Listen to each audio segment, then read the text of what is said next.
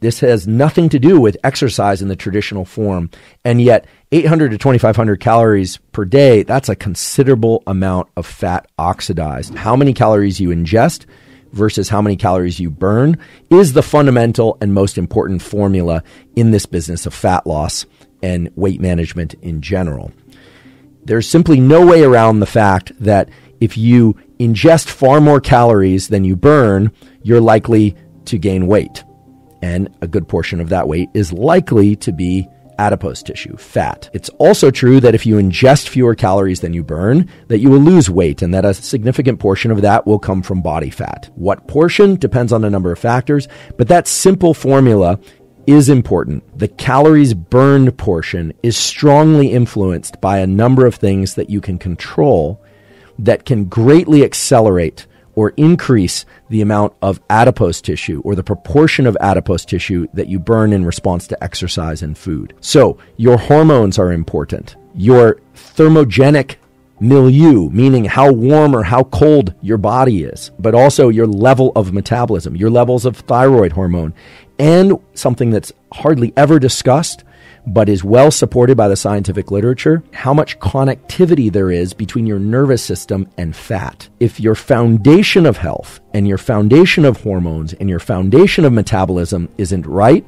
it's going to be very hard to get the most out of any kind of exercise or fat loss protocol. Get your sleep right, get your light exposure right, avoid bright light in your eyes at times you want to be asleep and get bright light in your eyes at times you want to be awake. The other thing is essential fatty acids. We need fatty acids. They are vital to so many aspects of our health. You don't have to get them from supplements. You can if you want to, but you need to get them from your food. They are essential. Of the fatty acids, there are multiple kinds. The levels of fatty acids that will promote good mood and also healthy metabolism, and will start to shift the needle in the right direction on blood-borne cardiovascular factors. The key thing is to get the levels of EPA that you ingest above 1,000 milligrams per day. That, of course, can be done through food sources, things like fatty fish, or if you're not into eating fish, you have quality meats that are grass raised can do that because that's when you can best support your metabolism and position yourself for good fat loss. And then finally, you can't really position yourself to have a strong metabolism if your iodine levels aren't correct and your thyroid levels aren't correct. You can overdo iodine, so you don't want to do that. A lot of table salt has iodine added to it, but some people need to add iodine they by ingesting things like kelp, etc. But one of the best ways to support the thyroid system and metabolism in general is to make sure you're getting enough selenium, sometimes called selenium, each day. Simple way to do that is to ingest the highest concentration of selenium food that I'm aware of, which is Brazil nuts. One or two or three of those per day, you'll have more than enough selenium to meet the thyroid needs. You don't want your selenium to be too high. You don't want a diet too high in anything. Let's talk about how fat is converted into energy, which is sometimes also called fat burning. There's two parts to this process. One is fat mobilization, and the second is fat oxidation or utilization. Okay? So the first thing that has to happen for body fat to get burned up or used and reduced is that it has to get mobilized. You just have to move that fat out of the position that it's in you have to get it out of the fat cells. All right. Fat cells can be visceral around our viscera, our organs, or they can be subcutaneous under our skin. Basically, stored fat has two parts that are relevant here. It's got the fatty acid part, and that's the part that your body can use and that's attached to something called glycerol, and they're linked by a backbone. To mobilize fat, you got to break the backbone between glycerol and these fatty acids, okay? And that second part is oxidation, is then those fatty acids, those are potential fuel, but you haven't burned the fat yet. You've just moved it out of your fat cells. They're going to go into cells that can use them for energy. And once they are inside those cells, they're still not burned up. You need to oxidize them. think oxidation is the burn up part, they need to be moved into the mitochondria. And then they can be converted into ATP, into energy. So, one of the most powerful ways to stimulate epinephrine, which is also called adrenaline, from these neurons that connect to fat and to thereby stimulate more fat mobilization and oxidation is through movement. But I'm not talking about exercise.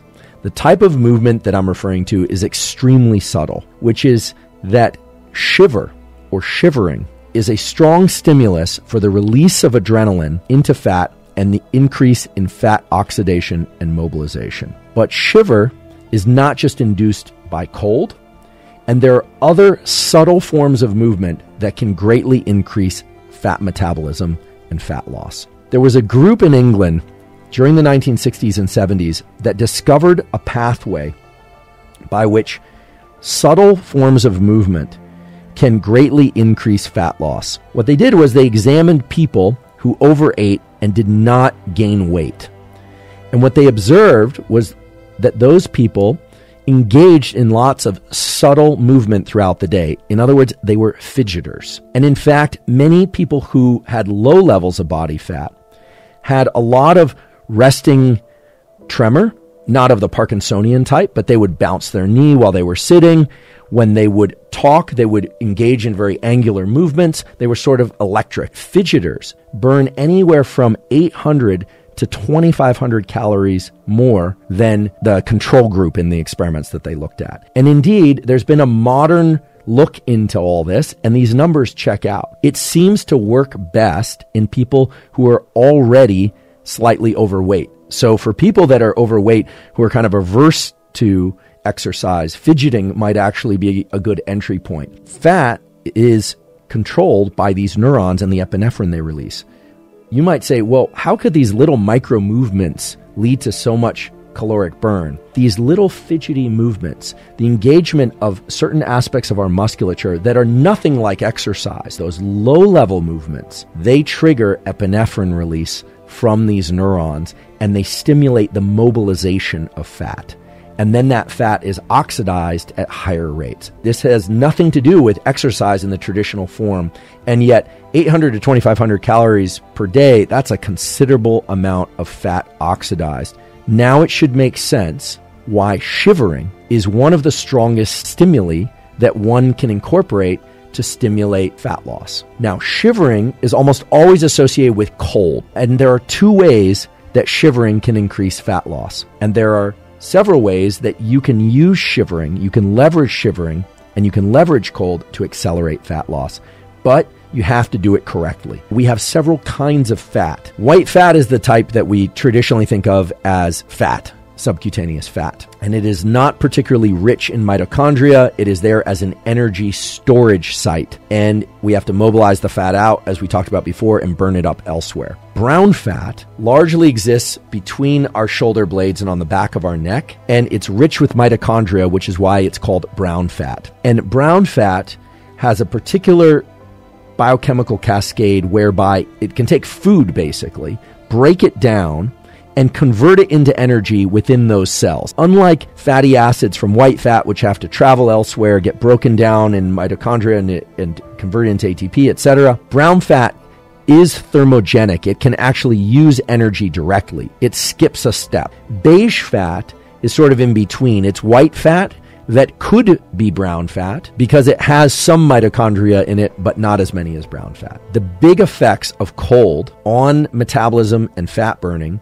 are going to be through two routes. One is that if you expose yourself to cold, you have the opportunity to trigger activation of brown fat as well as to convert more beige fat into true brown fat. So you essentially create a stronger or a hotter furnace. That's the way to think about brown fat. It's like a furnace. What you're doing is you're increasing the burn of energy by increasing the intensity of the heat inside you, so to speak. When you get into cold and you shiver, that low level movement of the muscle triggers the release of a molecule called succinate. And succinate acts on the brown fat to increase brown fat thermogenesis and fat burning overall. It actually increases body heat through this brown fat thermogenesis pathway. And it also, over time, can increase the amount of brown fat by converting beige fat into true brown fat. So, first, let's talk about how long to get into that cold environment. Most of you might think, oh, well, if one minute is good, three minutes is better. And if three minutes is better, then 10 minutes is best. But